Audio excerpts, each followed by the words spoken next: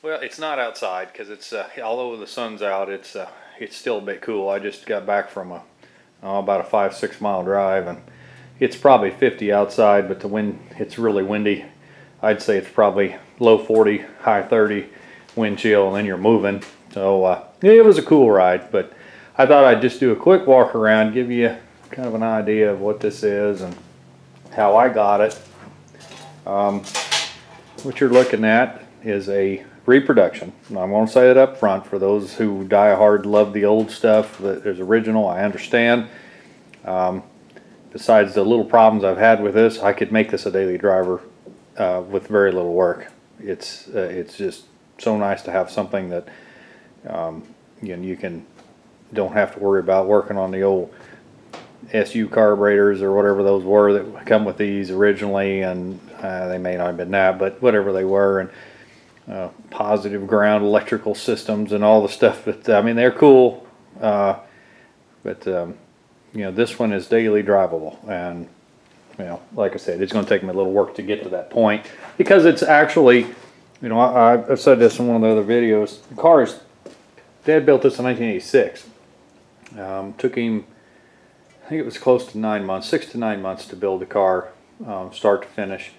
Worked on it, uh, you know, not every day, but pretty close to every day. And uh, it's really dusty, and I apologize for being so dirty. It's just, uh, you know, it's just winter. I didn't have it covered because I was moving stuff around, and then uh, had the boy in here working on stuff, and and uh, got very dusty. So I got I didn't do a cleaning. I may do a video when it's all clean, polished up this spring, like I said when I get it out. But I've been kind of telling you I was going to do it here for a few videos and in the past, so I thought I'd just go ahead and do it. And anyway, this is a 52 MG. Um, it is on a full square tube frame with a uh, Mustang tube Pinto uh, front uh, you know front end under it. So you know it's got the rack, um, uh, manual rack and pinion. It's got uh, you know the coil. Over. I mean it's got you know it's this Mustang 2 front end, the one that the hot rodders use there for a long time. At the time when Dad built this, it wasn't that hard to find those cars. Um, think he he stripped three. He got a couple of them. One had a rod knocking in it. The other one um, was a rollover, and still run a drove, but it was a rollover. And then I had a found an 80 wagon uh, that had a bad motor in it.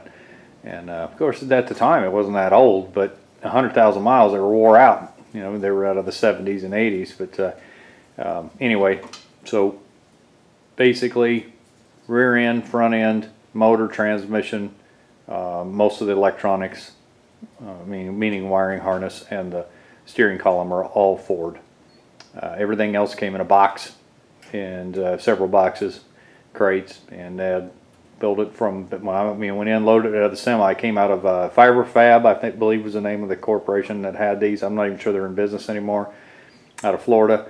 It came up on a semi up to Colorado, was where we were living. Dad still lives there, but not in the same place. But um, anyway, we were living at the time and uh, unloaded it in the street. Basically, got a, a, frame that had surface rust all over it and boxes full of parts, and that's you know a big instruction book which I have. And so anyway, he started building it. Um, it has, uh, like the other video I said, it has a 2.3 Ford four-cylinder motor. Head was shaved 60 thousandths. It's got 10 and a quarter to one compression, maybe three quarter. I'd have to look to see what the Ford actually was uh, the Pinto motor originally. Uh, of course, it's uh, it's got a header on it. It has a four-speed manual. Dad don't believe in anything having an automatic if it's a sports car. He's got a Z3 BMW. I think I've said this before in other videos. And uh, of course, it's the six with the uh, five-speed. Uh, turn another light on here. Anyway, this is supposed to be British race car green. Dad never liked the color. He thought it was more of a Hitler green is what he used to call it. Uh, the doors don't quite match the rest of the car, which means they were probably uh, done somewhere else. That's about the only structure you have in a side impact is just, uh, you can see the body's pretty thick right here. You know, it's probably inch and a half or so. And then the door is too, but you don't have much there. I mean, I would hate to get in an accident with this. Uh, the top is up. Uh, I usually do that in the winter time to keep it stretched out. It has a you know little deal that goes in it uh, kind of hold it from blowing around, and it gets really wrinkled up. So uh, I like to uh, put it up in the winter time to keep it stretched, um, stretched out. Doors are suicide, which are kind of cool. Uh, it makes it, I'm not going to say a challenge to get in and out, but some people have a lot more trouble. I'm six foot tall. I can get in and out of it pretty, pretty decent, but there are some things that are kind of unhandy to use. Um, one, one of the biggest, and I'm sorry there's no light down here. You may or may not be able to see it. I don't have the rubber on the brake or clutch pedal because it kept falling off, but had to move them close together because these were really kind of designed to have automatics in them. And uh, so to put a clutch and a brake pedal because of the way you know this body angles down. There's just not much space there for a clutch pedal. Dad made it work, and I, I have a size 12 shoe. I can make it work, uh, but there's sometimes if you're in some type of emergency, you know, you want to kick that thing in neutral pretty quick.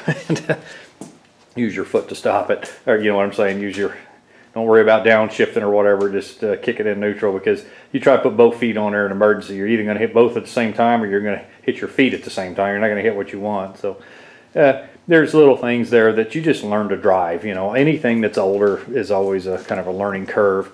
But it's got a full set of gauges. Um, everything still works in the car like it's supposed to. The radio actually came out of a car I had in high school.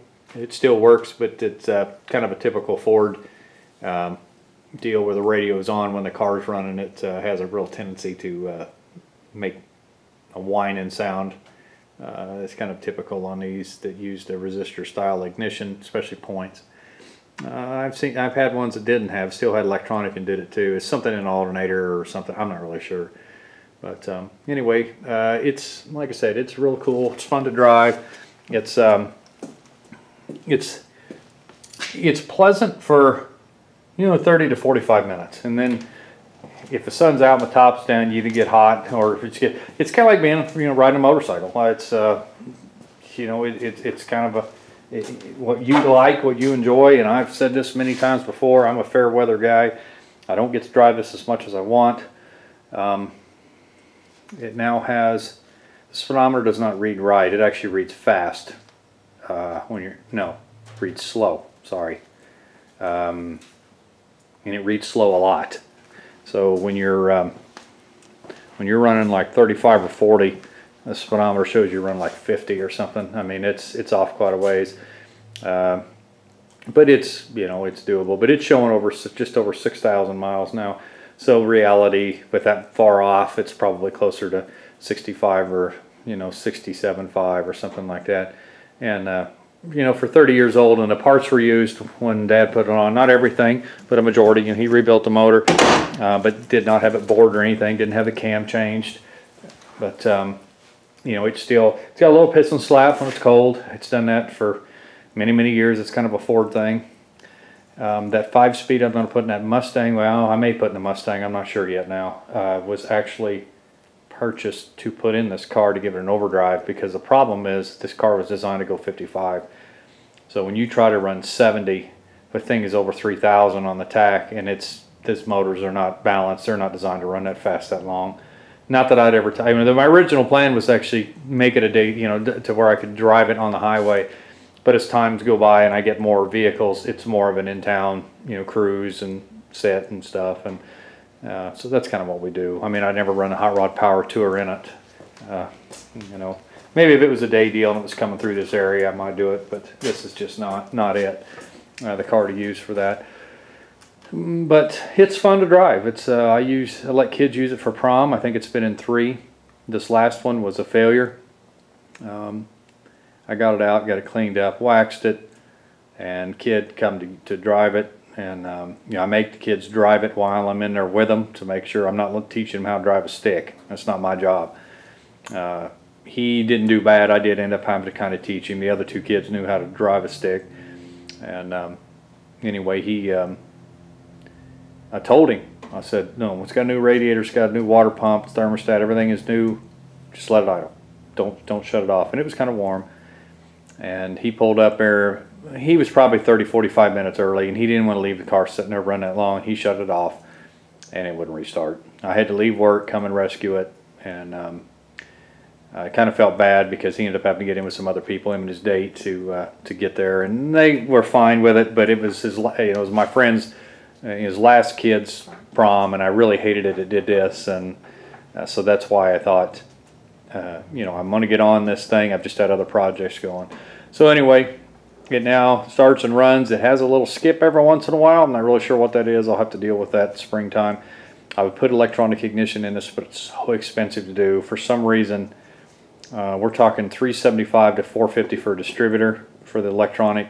Uh, I told you about the conversion. I had trouble with it. I may try it again now that I actually found the original problem, like I said on another video. But um, anyway, this is just kind of a quick walk around. I may this spring get it out, set up the camera somehow, and then just take it for a drive around town or whatever and stuff. So anyway, that's the car. Um, you know, it's uh, it's cool. Oh, there's a lot of people ask why it has two different color lenses in the front. Uh, Dad, when he ordered them, you could get either the clear or you could get the yellow, and he decided to get one of each because one was a driving light and one was a fog light. And uh, for the racing circuit, he thought that was kind of cool to see, you know, with it's got the screens, you know, covering the headlights and it's got the badging and stuff. So that's why he did that. Um, let me step on some stuff. I don't think you want. I don't think they work. I have never wired them up, and I don't think Dad did either. So that's something I may do. Uh, the mirror is on the hanging there on that uh, piece of aluminum, that window frame. That's not supposed to be on there. The original mirrors, which I have, are supposed to be mounted here to the fender on both sides. Dad did not mount them because he was afraid during shows and parking lots and stuff that people would just try to tear them off. And uh, you know, the fiberglass part of it is just weak, and that was something that I said in another video, and uh, but I don't know if I actually posted it or not. Working on this can be a pain. The, you know, the hood opens sideways, and um, you, so you can't work on it from the passenger side. The, everything sticks out too far in the front. You about can't work on it from the front real well. And this fender is so big and hangs off the side, you about can't work on it from the side. You really got to be careful because there's very little support on those and you don't want to break them. So working on it is just as much a challenge sometimes as some of the other parts of the of the car. But it's cool, it's fun. Dad did it because he just wanted to. He wanted to know if he could build a car from parts and scrap and you know stuff laying around and out of a box and and uh, he did it.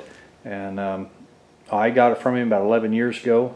Uh, he was wanting to get change up and he ended up buying that BMW. That's not you're looking at that leak here on the floor. That was actually from the Mustang. I had to change that thermostat again because I had a leak from the gasket, and that was just from where I drained it up. So it's not from this car. Uh, oh, however, this thing is leaking gas, uh, so I'm gonna have to rebuild that carburetor. uh, anyway, um, you know, Dad wanted something go a different way, and, and I just could not see this go to somebody who uh, wouldn't appreciate it like I did, and and I feel kind of bad because I never got it painted like I wanted to, the actual British race car green, and I and I was having trouble, like I said, getting it started. I think I've got this lined out now, and and uh, I'll probably do the electronic conversion someday, and and uh, you know we'll we'll make it good. But anyway, this is what it is, and and uh, you know we'll talk to you guys later.